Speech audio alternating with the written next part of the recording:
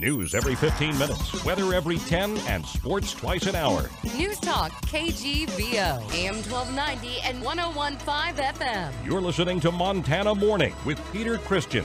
Medical marijuana dispensaries are open. Good morning, everyone. It's Montana Morning. It is Thursday, December 8th, 2016.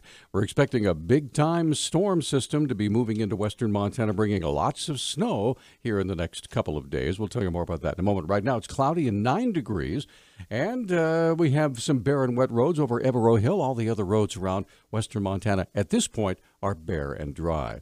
Our newscast this morning, sponsored by Selway Armory on Stockyard Road, Montana's premier firearms dealer.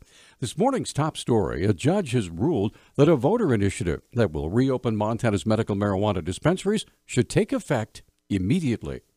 District Judge James Reynolds of Helena ruled yesterday that an error in drafting the ballot measure should not delay patients' access to the drug until July. The judge says the people who are the most in need are those who are seriously ill and are the least able to grow their own marijuana. The initiative approved by voters last month struck down a law that limited medical marijuana providers to three patients each. However, a mistake in the final draft of the measure delayed the effective opening date until July 1st.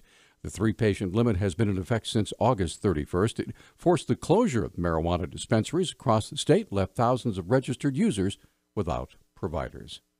A former Montana man has pleaded guilty to his role in the beating death of his 18 year old nephew in western Montana.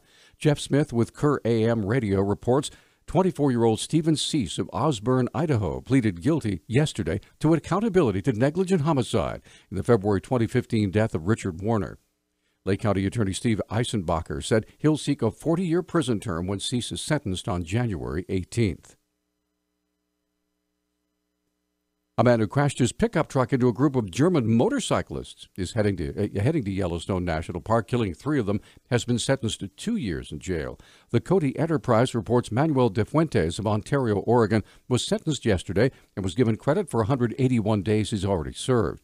He pleaded guilty last month to three misdemeanor counts of vehicular homicide stemming from the June 9th crash that killed 53 year old Tino Cache, 52 year old Ute Cache, and 37 year old Eric Brecht. Four other motorcyclists were injured. 34 year old Donald Hathaway appeared in Missoula Justice Court yesterday on charges of aggravated assault with permanent or life threatening injury after an altercation with his girlfriend. Deputy Missoula County Attorney Amber Henning has details. Defendant is charged with aggravated assault against the victim, Jane Doe, for strangling her multiple times, almost to the point of unconsciousness after being thrown around, uh, quote, like a rag doll, unquote. The victim stated that the defendant told her he was going to kill her and has threatened to hurt or kill her dogs previously. Henning said this wasn't the first time that Hathaway has assaulted this victim. The defendant has a previous PFMA against the same victim, and it was amended down to a disorderly conduct. In addition to the bond, we're asking for standard conditions, including absolutely no contact with the victim, Judge Marie Anderson set bail at $25,000 and ordered Hathaway to have no contact with the victim. His next court appearance is December 21st. According to the Montana Department of Health and Human Services, norovirus outbreaks are occurring around the state. Epidemiologist Dana Fejes says more outbreaks are typically reported during the winter. In the last two months, we've had 12 outbreaks that have been reported to the State Health Department. That's a little bit higher than what we normally see during that time of the year. Usually, outbreaks are reported in November through April. That's usually our peak time. So, to have a lot of those reports come in this early in the winter season is a little bit unusual. During those 12 reported outbreaks, over 250 people reported illness and 10 individuals were hospitalized. Fejes said there are a couple of ways to prevent norovirus infection. Best method would be to wash your hands properly.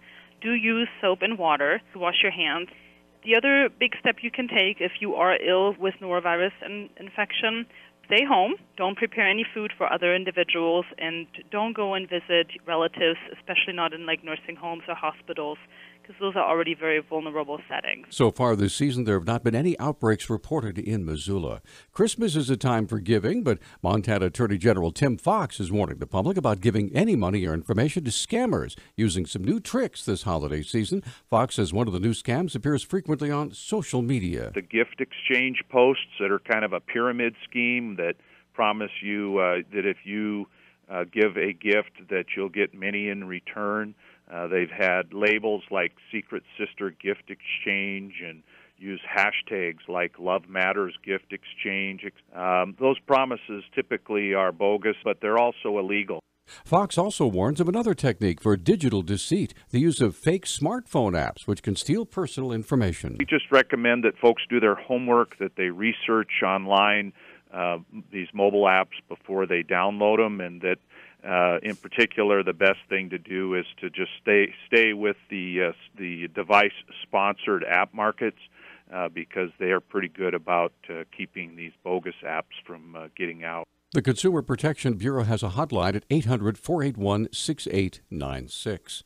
Once Donald Trump secured the presidency, Montana Senator Steve Daines began compiling a wish list of issues he wants the new president to tackle once he settles into the Oval Office. Well, one of President elect Trump's driving principles is rolling back the countless Obama administration regulations and these policies that have stifled job creation, they've stifled economic growth, they've stifled innovation. And I could not agree more that reversing these misguided policies is critically needed. Daines also pointed out the failures of the Obama administration to enact policies that will improve the lives of Montanans. The Obama administration has failed to support just common sense reforms needed to improve the lives of hardworking Montanans and protecting our way of life. It's unacceptable. And I'm urging President elect Trump to take prompt, decisive actions to change the course on behalf of all Montanans and the American people. Specifically, some of the issues include keeping Americans safe, protecting taxpayers and rights of conscience preserving privacy, and fostering innovation, bolstering America's agricultural economy, along with standing up for small businesses